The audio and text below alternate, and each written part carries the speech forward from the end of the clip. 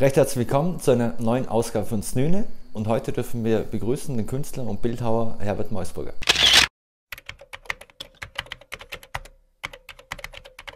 Herbert Meusburger, Sie sind ja in Bregenzer da, da, im Wald aufgewachsen. Ähm, wie prägt einen das, wenn man, wenn man in so einer Talschaft aufwächst?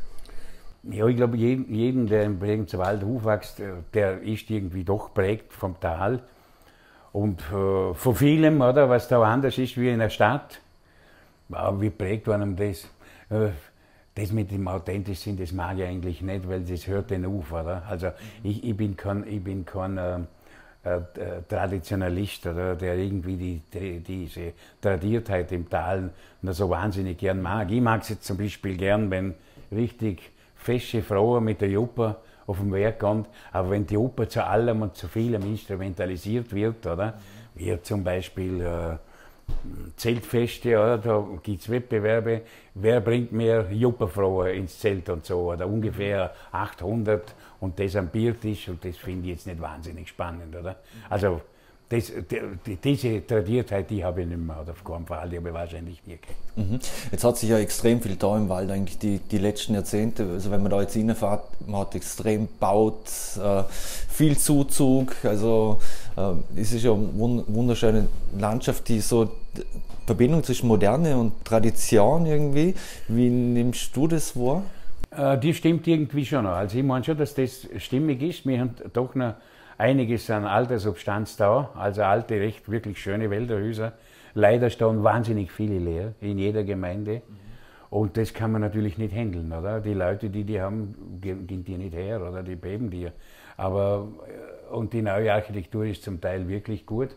Nur, ich, ich bin trotzdem der Meinung, man muss schon aufpassen, dass das nicht auch wieder in einen Einheitsbrei verfällt, oder mit der neuen, dass man da nicht äh, so wie kommt, dass das eine, äh, dann immer irgendwie nur ein Abklatsch ist für irgendetwas, das die bessere Leute macht in der Mal, oder? Mhm.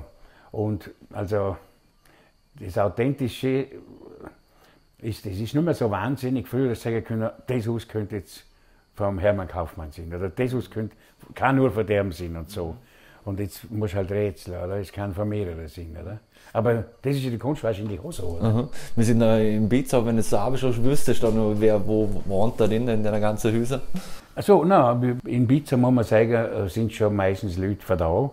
Und natürlich Zuzug gibt es natürlich, oder? Das hat es immer gegeben, oder? Im Bregenzer Wald gibt es im, im gewissen Ausmaß auch Industrialisierung, oder? Mhm. Der Kaufmann braucht Leute, oder? Und die wird auch nicht alle Verdacht kriegen. Und da gibt es ein paar kleine Betriebe, und gibt es Leute, die sowieso da, daher ziehen. Und dann gibt es natürlich Leute, das wird schwieriger werden, diese Zweitwohnsitze, oder? Mhm. Aber das ist natürlich ein eine Geschichte, was mit der Widmung nicht so ganz schwierig, auch nicht so ganz leicht sein wird. Oder? Das wird, wird uns noch beschäftigen, schätze ich. Weil du jetzt sagst, gerade Widmung, da fällt mir gerade wenn wir da im Bizau sind, äh, Canisflu, da hat es ja riesen äh, Diskussionen so, um ja, Steinbruch und so. Ja, Wie siehst du ja, sowas? Das ist doch einfach, das ist doch ein, das war doch ein Aufbau für irgendwas. Natürlich äh, da hast du ja gemeint, die, äh, die, die brechen die Kanisfluh ab, oder? Mhm. Wenn du das gehört hast. Nein, im Grunde war es eine alte, ist eine Schotterhalde, die man abgeräumt hat, mhm. oder? Und offensichtlich, äh, die, ja, die Firma Rüff hat das alles richtig gemacht, oder? Mhm. Aber, aber offensichtlich, das ist so transportiert worden, dass man gesehen hat, das wird ein Steinbruch, was überhaupt nicht gestimmt hat. Mhm. Es hat so viel, also was mich eigentlich an der ganzen Geschichte gestört hat, mhm ich bin ja, für mich ist keine, keines Fluss schon in gewisser Weise eine Triebfeder meines Schaffens, oder? Und die ist mir schon wichtig. Mhm. Und dann haben wir gedacht, ich rufe die Firma Rüff an, weil sie mal geschrieben haben im Gemeindemitteilung, im Gemeindeblatt, haben sie mal geschrieben, jeder kann sich über das Projekt im Büro informieren. Und dann haben ein bisschen immer gefragt worden, der hätte schon unterschrieben. Dann habe ich gesagt, nee, ich informiere mich zuerst über das Projekt, oder? Und dann bin ich halt zur Firma Rüff gegangen, gegen Abend, dann nach fünf haben wir das anschauen und haben mir das angeschaut. Und dann haben wir das so erklären lassen und ich gesagt, was ist mit dem Zapfer da? Und ich gesagt, das ist, das muss man wegtun. Das ist noch Stein, aber das sind die 25.000 oder so, ungefähr. Ja. Vielleicht habe ich es noch immer richtig im Kopf. Und, und, und dann habe ich, hab ich das angeschaut und dann habe ich gesagt, ja, ja, gut. Also, jetzt also Verbrecher sind der keine, habe ich gesagt, wenn es sauber machen, wenn es stimmt, was er angeht, oder? Aber Jetzt schauen wir mal, oder? Was da, ja, Und dann habe ich gesagt, wie viele haben das Projekt schon angeschaut, weil unterschrieben sind viele Tausende. Mhm. Da habe ich gesagt, du bist der Zweite. Und das war aber nach dem ganzen Klamauk schon. Und das finde ich unfair, oder? Ich finde das einfach nicht richtig, oder? Wenn, das, wenn Basisdemokratie so weit geht, dass ja vier. Und ich, ich bin ja, ich war ja mit, mit äh, Kunst im öffentlichen Raum bin ich auch permanent konfrontiert mit der Geschichte. Mhm. Also, nur als Beispiel, oder? Ich komme in eine Gemeinde, dann sagt man, könntest du da noch was machen auf dem Platz, oder? Mhm. Ja, dann überlegst du, äh, ja, also sagen wir, drei Wochen brauche ich mindestens immer, oder? Mhm. So.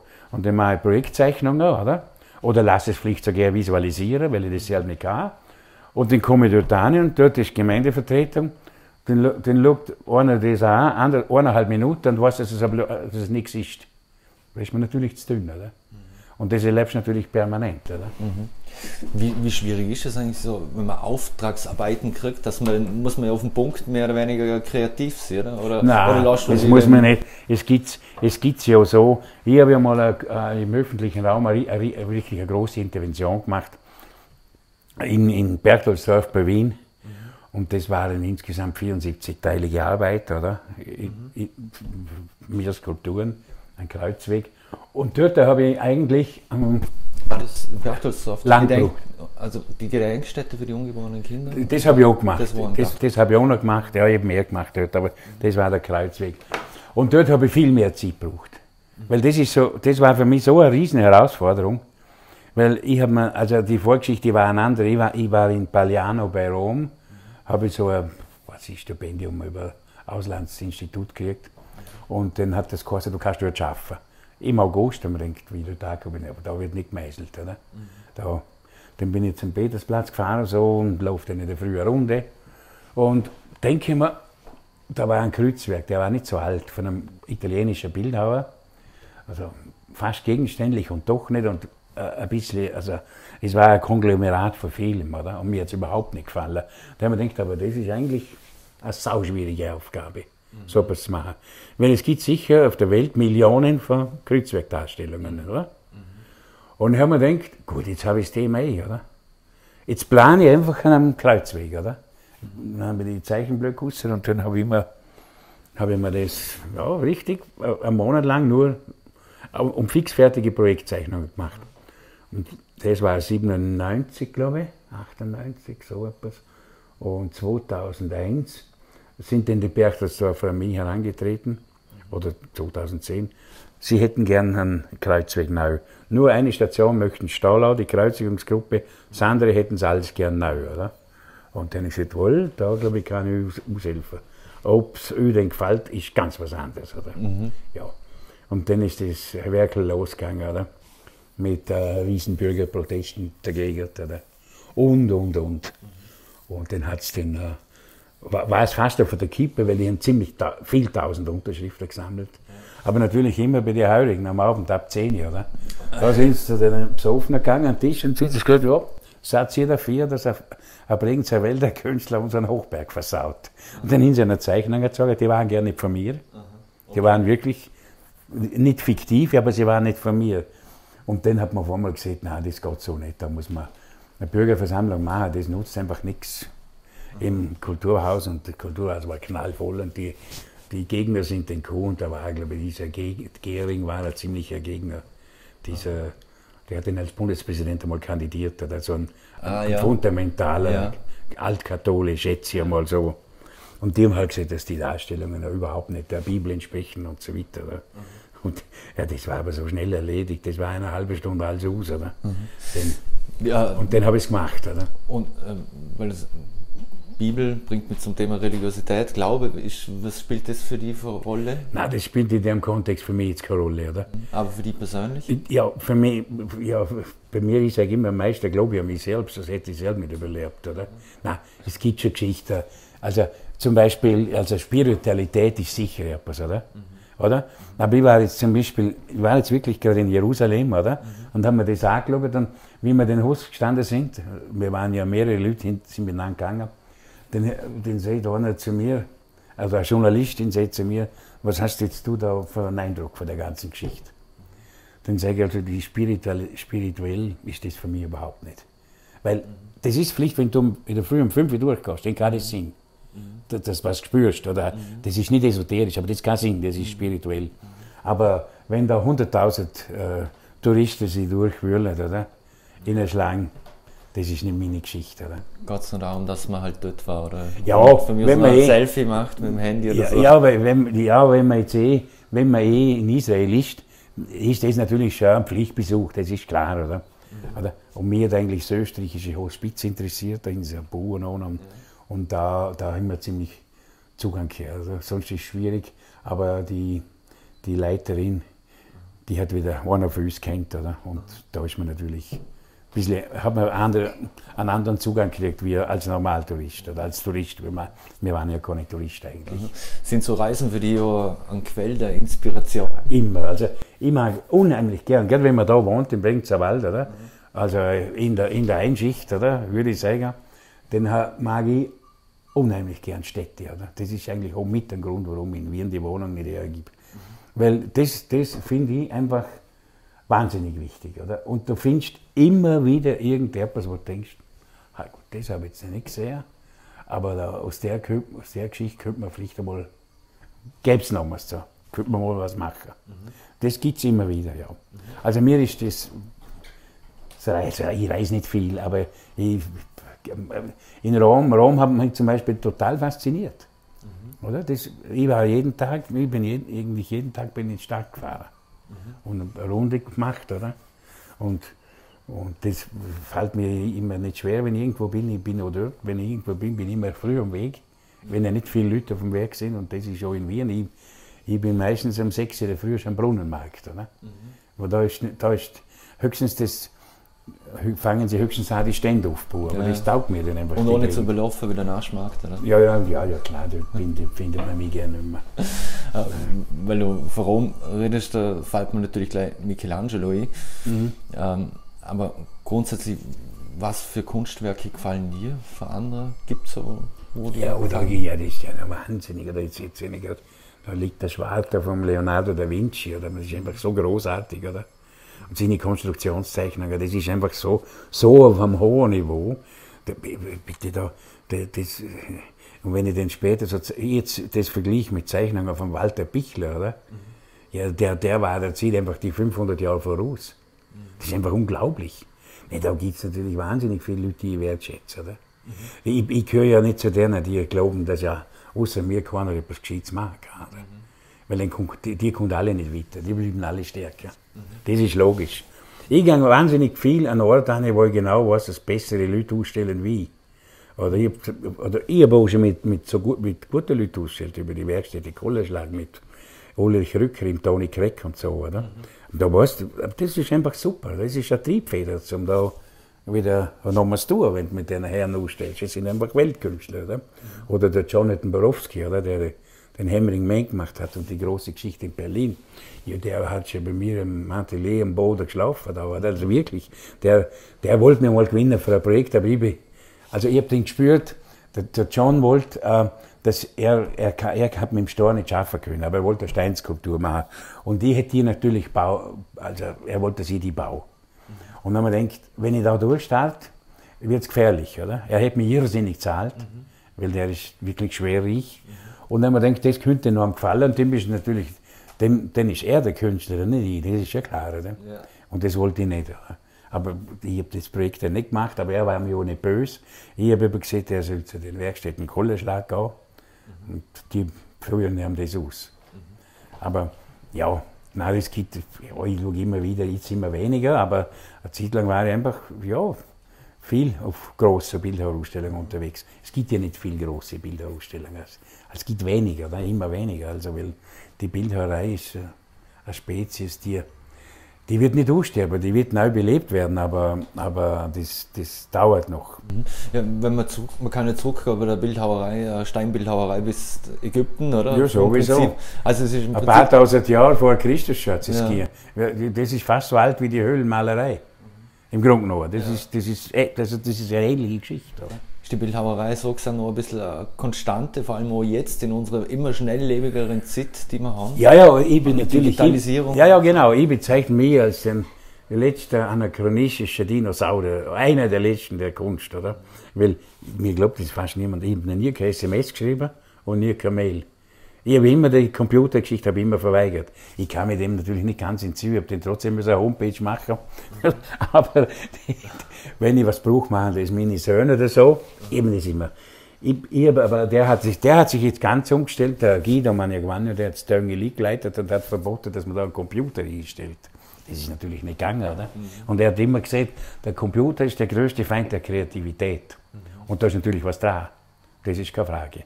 Aber dass man in der, in der heutigen Zeit, das, das, geht, das geht nicht mehr ohne, oder? Und, und das hat auch in der Kunst eine Bedeutung erlangt. Und das ist logisch, das ist auch Ausdruck der Zeit, oder? Die technoide Geschichte. Und da gibt es viel technoide Geschichte, oder? Wenn, wenn man denkt, früher schon Namjoon Paik oder Peter Kogler, oder, da gibt es einfach viele Geschichten, die werden einfach am Computer gemacht. Mhm. So Videokunst oder so, ist das etwas, Nein, wo das Ja spricht? Oder, oder? Wo, ich schaue mal schade, es gibt ja tolle Geschichten. Aber es sind halt, also wenn es jetzt genau, es sind halt schon relativ viele Wiederholungen dabei. Mhm. Weil das ist auch schwierig. Es ist einfach schwierig, oder? Und, und kein einziger wird das Rad neu erfinden, oder? Mhm. Wie, wie, schwer ist es selber, sich als Künstler immer wieder zum Entwickler? Ja. Hat man da, spürt man da einen Druck? Oder, oder ist nee, einen Druck spürt man keinen. Einen Druck spürt man überhaupt keinen. Aber man hat natürlich schon das Gefühl, dass es gibt dann halt Leute, äh, die von, die von mir sammeln, die hätten gern wieder mal dazwischen die was Neues. Das ist einfach so. Oder? Und ich mache immer so fast zyklische Arbeiten. Ich mache dann wieder eine Zeit lang diese Trennen verbinden Geschichten und dann mache ich wieder komplett, gibt es mal eine Serie verstehlen. Aber es ist eigentlich alles im selben Kontext entsteht, oder immer wieder mit dieser Philosophie dahinter.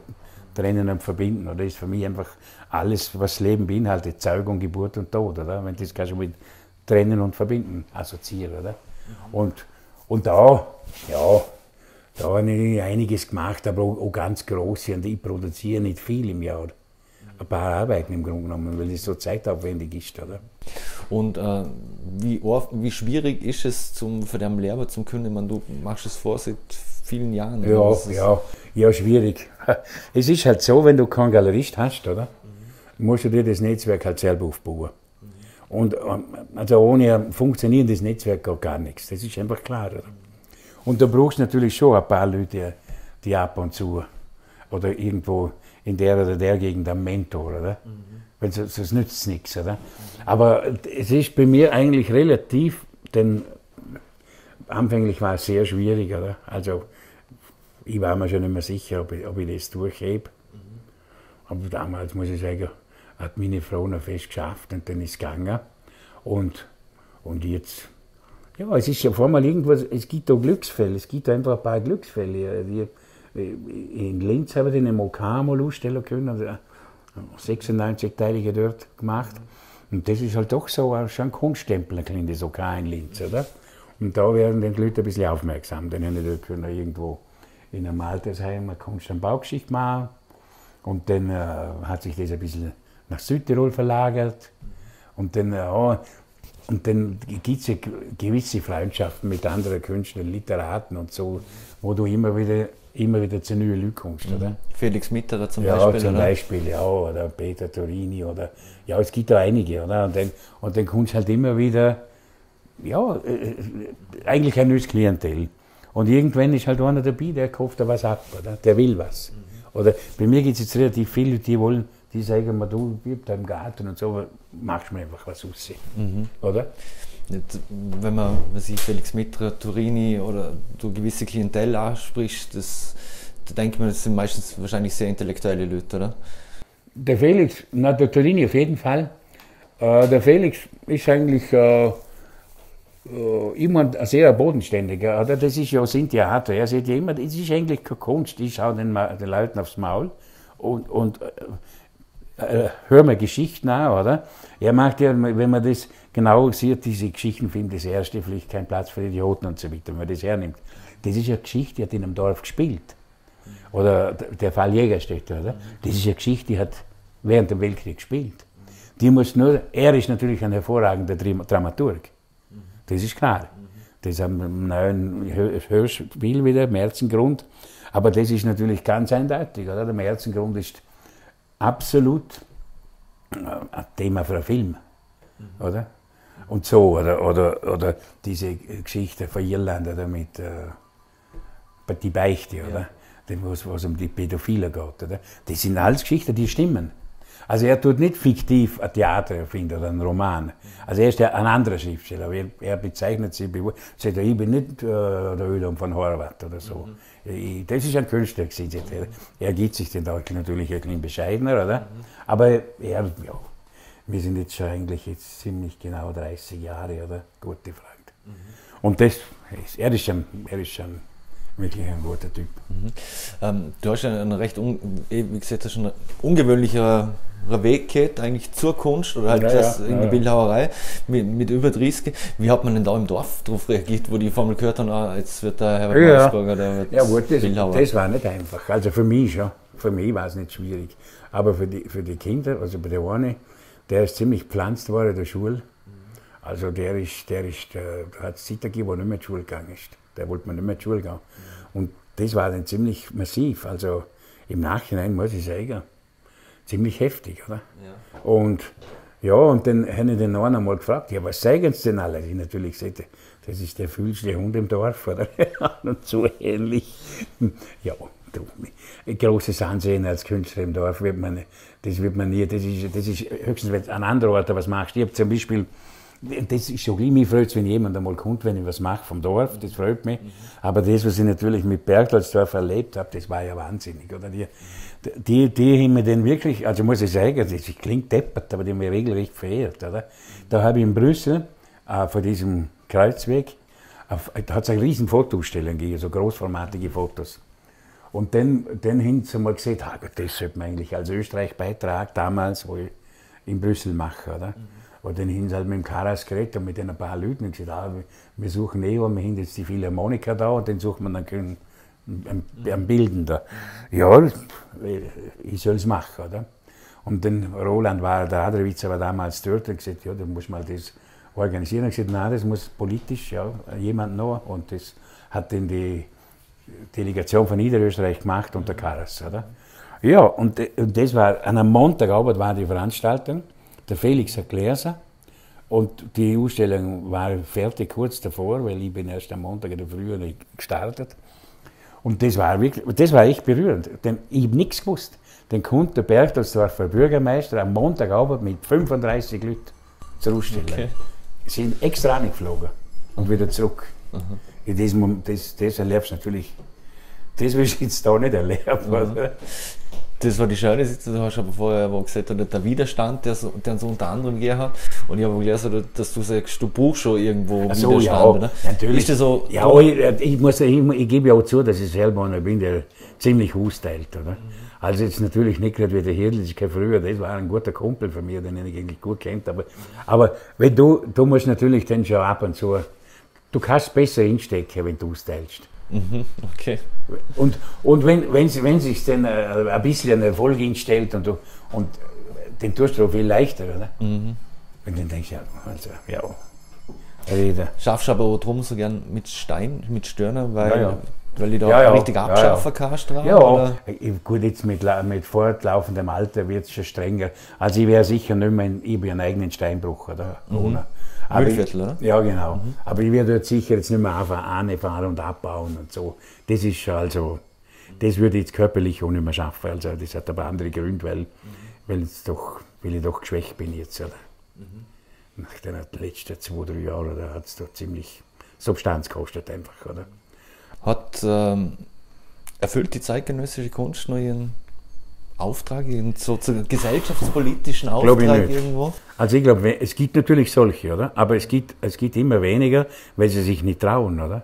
Dann kommst du nicht mehr gut in die Töpfe, wenn du, du müsstest natürlich viel mehr, viel kritischer sein. Mhm. Oder ich bin jetzt so schon äh, so ein bisschen altes, äh, ja, man, wird dem müde und, und, und, und verschiedene Geschichten du zurück, oder? Altersmilde würde ich sagen, kann man das nennen. Aber ansonsten glaube ich schon, und da sind jetzt natürlich die Kollegen gleich böse, wenn man das sieht. Ich habe ja mal das geschrieben ne, in, einem, in einem Manifest, oder? Mhm. Dass, das dass, dass, die, die Kunst eigentlich Gefahr läuft, zur Dekoration zu verkommen, oder? Mhm. oder?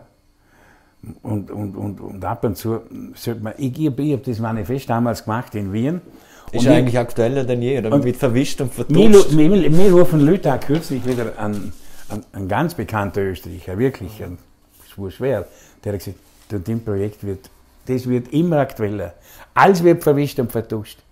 Oder? Es ist einfach ein, es war im, im, im Nachhinein so ein sensationelles Projekt. Klar, die, be, be, da bin ich schon ein paar Mal attackiert worden, oder? weil die, die Mani, wegen Manifesttext. Oder? Ich habe halt da geschrieben, die Künstler verkommen zu Dekorateuren. Natürlich dürfte das nicht schreiben, die, oder? Das, das ist halt, aber das ist immer so, oder? Da, wenn du sowas machst, da, da, also das wäre ja furchtbar, wenn keine Reaktionen da wären, oder? Ja, das- ich glaube, wenn man in der Kunst immer Und provokant mir finde es eigentlich schön. provoziert, Jetzt ja. weiß ich, es war, glaube ich, 14, vor fünf Jahren. Und ich habe immer mehr Reaktionen jetzt. Immer wieder. Immer wieder. Und das ist eigentlich toll, wenn es noch nachhaltig ist, oder? Ist Kunst aber zu viel Event mittlerweile. Ja, halt, das wird auch dazugehören. Das ist schon Ausdruck, das ist schon Ausdruck der Zeit, oder? Aber es ist halt nicht meine Welt, oder? Ich brauche das nicht. Das, das, da da gibt es Leute, die können das wesentlich besser wie das mit ihm beziehen. So interessiert es nicht. Ich, ich, ich bin ja eigentlich relativ, wenn ich da bin, relativ zurückgezogen, oder? Ich gehe ganz wenig auf, auf Vernissage. Ich schaue mir die Ausstellungen schaue mir viel an. Aber ich mag den, den Rummel eigentlich schon nicht mehr, oder? Ja. Wobei es unfair ist, in einer gewissen Art und Weise so unfair, wenn ich eine mache, aber ich mache alle zehn Jahre eine im Landpflicht, oder? Den, den freut es dich eigentlich schon, wenn ein paar Leute kommen, oder? So ist es nicht, oder? Ja. Dann tust du Gleiche, aber halt, man trinkt ein Glas Wein, oder? Aber jetzt, ja, das, ich bin jetzt halt nicht mehr, früher hätte ich mich, schon in die Menge gehauen gern und jetzt einfach immer, komme ich immer mehr drauf, dass das eigentlich viel gescheiter ist, man tut werkeln, oder? Und zeichnen. Du hast, äh, wie ist es aktuell mit Werken? Was hast du aktuell für, für Projekte vor? Weil es- du hast ja selber angesprochen, es- die letzten zwei Jahre ist es da nicht so gut gegangen, gesundheitlich. ja, ja. Und Ja, ja, ich habe jetzt halt die Ausstellung gemacht und dann, dann gibt es jetzt noch eine Ausstellung in, ah, das ist keine Ausstellung, in Klagenfurt gibt es ja ein Riesenprojekt. Das ist jetzt in Bö- Bös, hat man's noch, ist noch gar nicht so durchgekommen, aber in Klagenfurt macht, da hat der, der Heider damals dieses Wörthersee-Stadion pur. Genau, ja. Und da war eigentlich nur ein Fußballspiel zu Anfang von der WM. Also eine völlige Farce, eine Schweinerei im Grunde genommen, oder? Weil wenn ich denke, Klagenfurt spielt ungefähr dort, wo Bizau spielt, oder?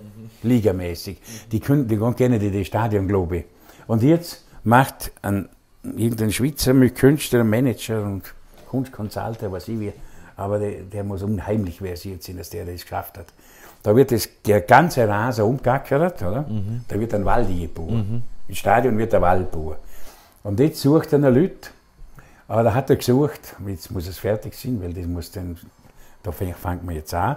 Jetzt ist nochmal das erste Wirbel entstanden, weil man gesehen hat, Hartberg ist im Europacup, jetzt müssen die im Stadion spielen. Hat der, der Peter Kaiser gesagt, wir stehen zur Kunst und zu der Nachhaltigkeit, das Kunstprojekt findet statt. Und die Bürgermeisterin von Klagenfurt tät da. Oder? Und jetzt gibt es da begleitend dazu, ich habe vortelefoniert, noch eine Cousin, begleitend dazu gibt es noch eine Ausstellung im Kunsthaus Klagenfurt und im, in der Landesgalerie von, von ein paar Bildhauern, aber da- das sind nicht Österreicher nur, also international hat er die, ich weiß aber nicht, wen er da zusammengesucht hat, mit Holz, Holzkulturen. Und da bin ich nicht eingeladen, zum etwas machen. Und da habe ich jetzt noch einiges zu tun, aber ich, ich bin jetzt dran und mal schauen, was, was das Ergebnis denn ist. Ja, wenn, wenn mit der Holzbildhauerei wieder zusammenkommst, irgendwo, dann schließt Ja. sich der Kreis dann wieder. Ja, für, für mich ist jetzt ganz einfach. Ich habe es eigentlich letztlich zuerst einmal gedacht, mache ich da mit, mache ich nicht mit. Und ich denke, eigentlich ist es ja Blödsinn. Wenn, wenn man meine Arbeiter da sieht, die, die, die Verzepfung und das Zeugs kommt ja vom Holz. Und eigentlich ist es ja Materialentfremdung, oder? Und jetzt komme ich wieder mit den Verbindungen, die eigentlich früher fürs Holz gemacht, aus Holz gemacht worden sind, bei jeder Alphütte, bei jedem Wälderhaus. Und jetzt komme ich wieder zurück zum, vom Stein zum Holz und eigentlich wieder ein Ursprung, oder? Ich werde das Material dann nicht so lau, wie es halt gerade ist und vielleicht ganz technoid machen, dass ich Schicht, Schichten, wie es das verlieren. Das, weil sie eigentlich, die Idee ist ja äh, der Wald und was, was wird denn aus dem Wald, oder? Und dann kann ja auch Kunst werden daraus, oder? Nicht nur Brennholz oder nicht nur Möbel oder nicht nur, oder? Zum Beispiel. Oder nicht, nicht nur He- Heizmaterial. Und da sind wir wieder irgendwo trennen und verbinden, oder? Zeugung, Ja. Geburt und Tod. Ja, genau.